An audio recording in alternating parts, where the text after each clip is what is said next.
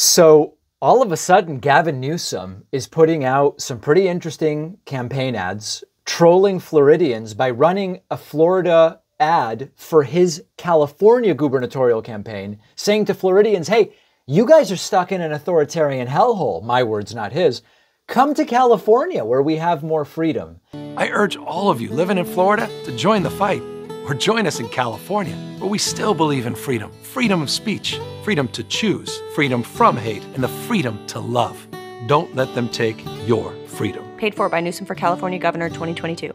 I don't find Gavin Newsom to be uh, the most progressive. I don't find Gavin Newsom to be the most upstanding morally.